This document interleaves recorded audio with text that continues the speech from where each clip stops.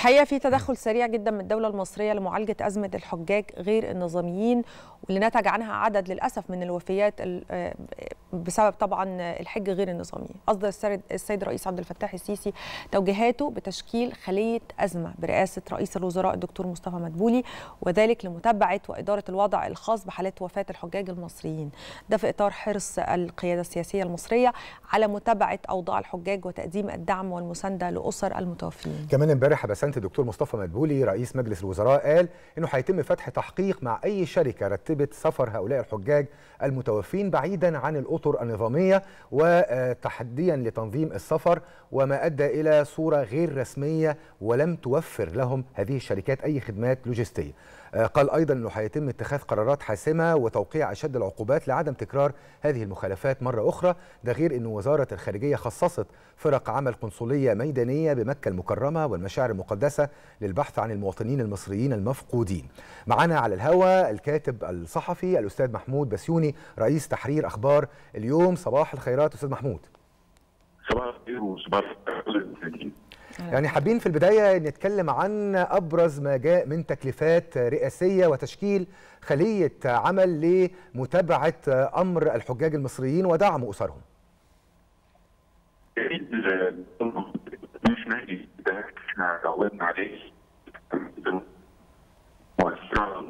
في الخارج في أي مكان سواء ده كان بشكل رسمي أو بشكل رسمي كانت الدولة المصرية. الصوت أستاذ محمود بس أستاذن حضرتك بس لو تتواجد بس في شب... مكان الشبكة تبقى فيه واضحة الصوت بيقطع للأسف. الصوت كده واضح؟ اتفضل يا فندم.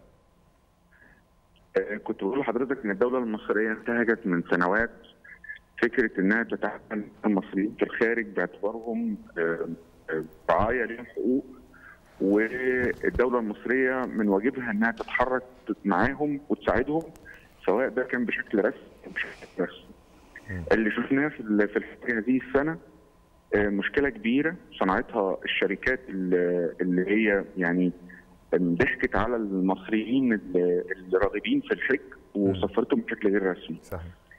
هذا الأمر أتصور إن هو كان سبب من الأسباب اللي شفنا على أثرها زيادة حالات الوفاة. الدولة المصرية لما وصل لها هذه المعلومات اتحركت بشكل سريع جدا شكلت خلية أزمة الأزمة دي اتحركت عشان تساعد المصريين هناك ترجع الجسامين وفي نفس الوقت تدور على المفقودين من وقتها. ودي ربما كانت حالات في بيوت مصرية كثيرة شفناها وبدأت يعني تظهر في خلال موسم الحج. هذا التحرك مش جديد. الدولة المصرية واهتمامها بالإنسان المصري شفناه قبل كده في ووهان في وقت الكورونا.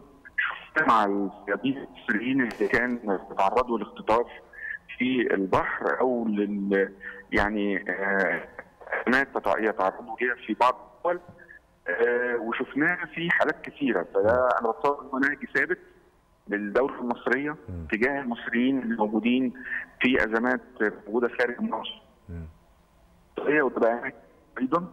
المساعدة وتقديم المساعده حضرتك قلت سواء المصريين دول رايحين أو في البعثه أو في شكل رسمي لأن في الحالات قدام الدولة المصرية والحوامها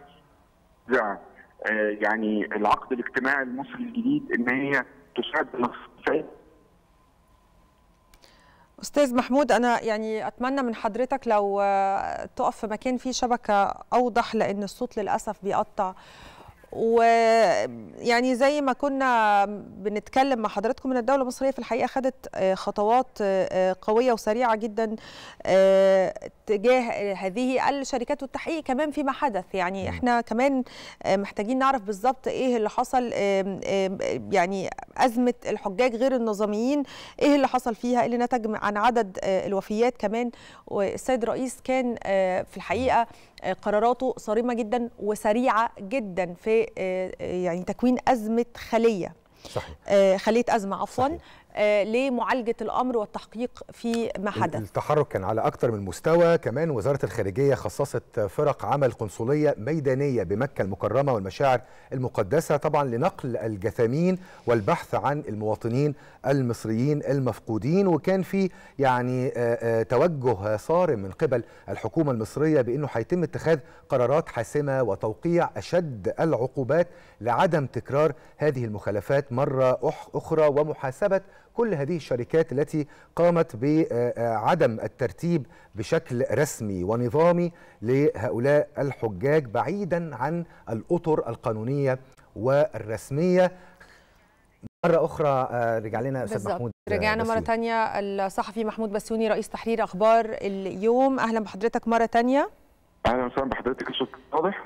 آه كده صوت تمام. يعني حابين نعرف من حضرتك بقى يعني هن... إيه اللي هيحصل تجاه هذه أو الإجراءات؟ يعني المهمة اللي هيتم اتخاذها تجاه هذه الشركات اللي خلفت يعني هيحصل معاهم إيه في الفترة اللي جاية؟ يمكن أتصور إنه كل هذه الشركات بعد ما يتم حصرها ستخضع للتحقيقات. حتى يتبين مدى الجرم اللي هي سببته والمشاكل اللي هي سببتها بسبب التعامل بشكل غير رسمي مع موسم الحج وتسهيل السفر غير الرسمي للمصريين اللي ما يعني ما تسكنوش على السفر الرسمية على الخدمات الرسمية اللي بتقدمها المملكة العربية السعودية.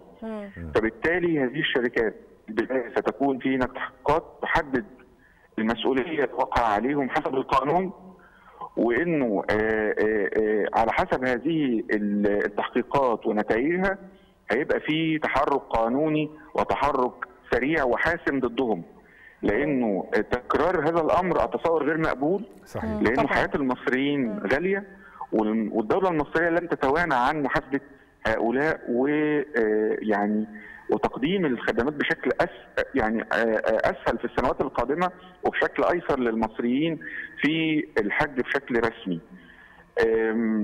المسائل المنظمه في المملكة العربية السعودية يعني بالظبط إحنا عايزين بس نفهم المشاهدين انه لما بنسافر بشكل رسمي ده بيوفر علينا مشقات كتيرة جدا الجو بيبقى حر جدا فلما بنكون مع شركة سياحة منظمة لنا الموضوع بتقدر إن هي أول حاجة ما نبقاش تايهين نبقى عارفين إحنا رايحين فين إحنا كلنا مع بعض فوق مع بعض بيقدروا يوفروا لنا المياه والعصائر في هذا الجو الحار فبيبقى الموضوع منظم أكتر وهم بيبقوا عارفين أكتر بنبقى مش داخلين بشكل غير رسمي فيما يعاقب عليه أكيد كمان القانون في المملكة العربية السعودية. بنشكرك الكاتب الصحفي محمود بسيوني رئيس تحرير أخبار اليوم.